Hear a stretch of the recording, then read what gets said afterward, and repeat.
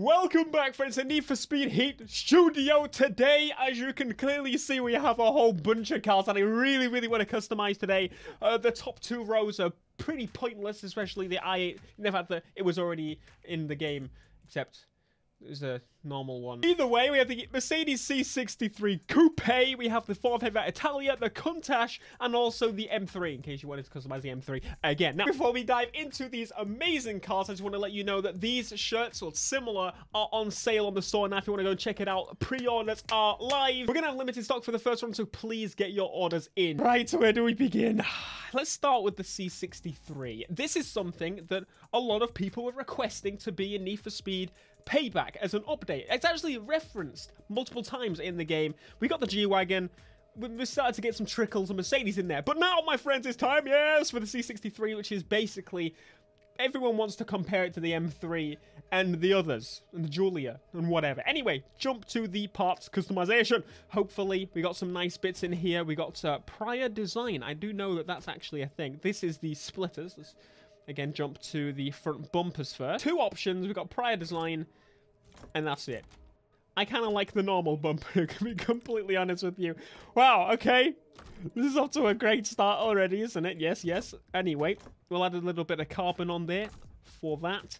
Bit of blue lights. Change to purple. Sure, whatever. Uh, the fenders, hopefully... Oh! We've got a Need for Speed wide body kit and also a prior design body kit. I'm going to see what the Need for Speed kit looks like. I, I just I've never I've never seen anything like that before in my life. It's kind of what is this? It's like they saw the prior design and was like, no, it is not enough. We need absolutely mental. And yes, it's exactly what they've done. I'm gonna be honest with you. I think the prior design one probably makes a little bit more sense. I do like the side skirt there though. So I'm gonna steal that. Mix and match the body kit. Right. Oh no. okay, I'm gonna I'm gonna say that this is an issue that's in this app because it's happened to every single car that I've managed to do so far. We can actually remove the no. We're putting a we're putting a roof wang on. I'll take it. But no, seriously, I I think it's a bug. There's a, quite a few bugs in this game. I'm assuming a lot of the fitment issues we have are probably bugs too. Uh, but we'll see. We'll see when the game comes out. If, if it's not a bug, I'm going to be severely, severely angry. Please, chassis mount, beg.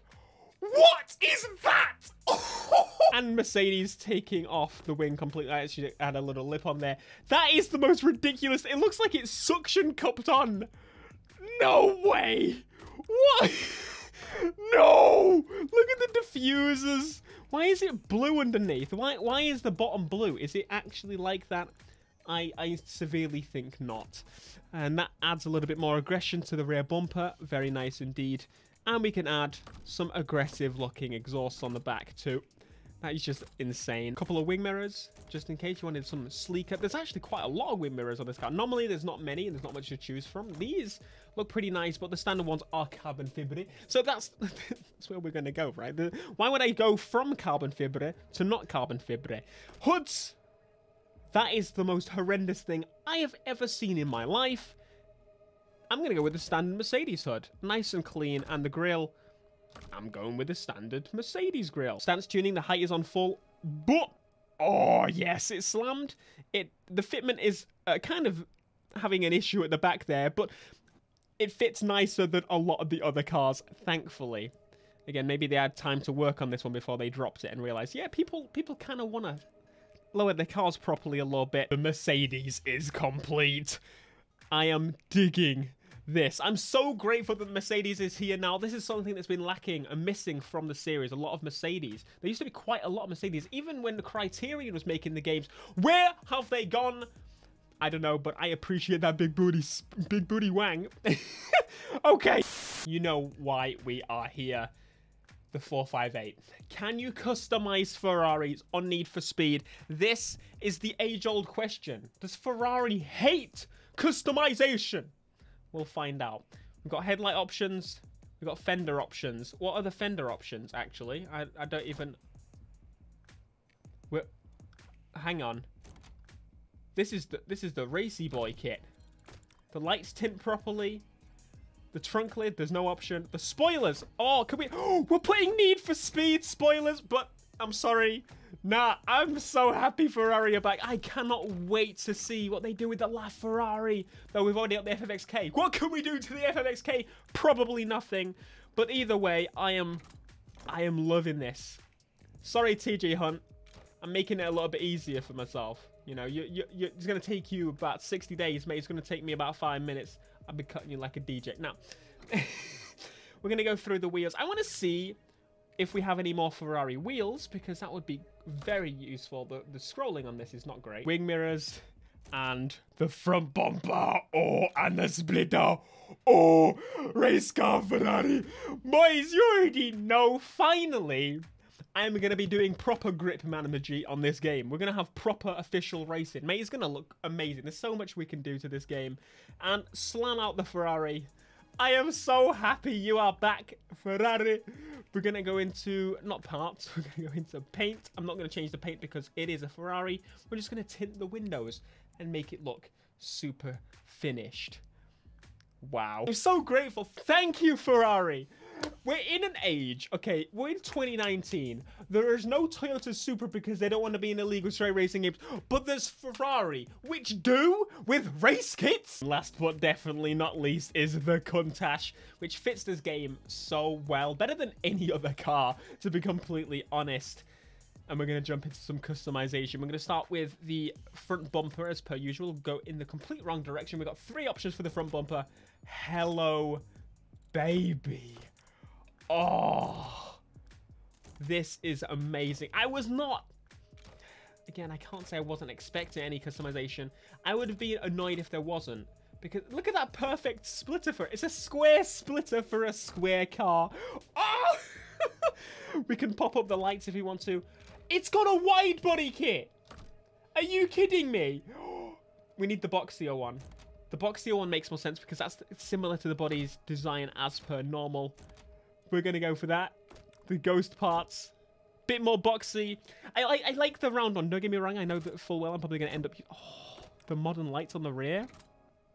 I'm going to go with it just because I want to try all the bits. You know, I want to see all the bits. Combination of the bits. All the bits. Uh, we got an adjustable wang. We got a taller wang. We got most of the, the Voltex wangs.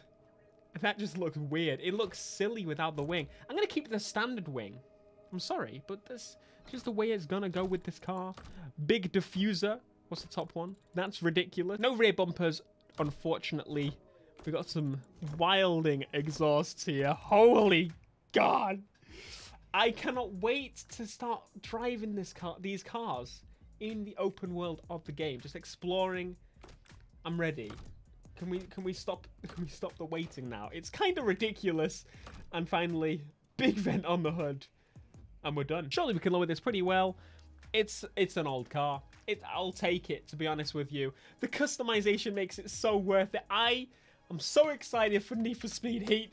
I, it's devastating making the cars on mobile and not actually being able to drive them or hear them or anything like we can in the full game but that we have to look forward to when it comes out. I've been presently surprised with this. If I was going to suggest some changes, I would like some black Ferrari wheels because I know they exist for the car. And also, I would like to see the grille blacked out for this Mercedes. I would like to see a dechrome option as, as a standard thing because that's something that car manufacturers don't do a lot of but everyone wants to do. Audi know exactly what I'm talking about. They do it as a standard, so you have to. Mm, I would make the roof black here if I uh, had some patience to do the vinyls, but uh, I don't.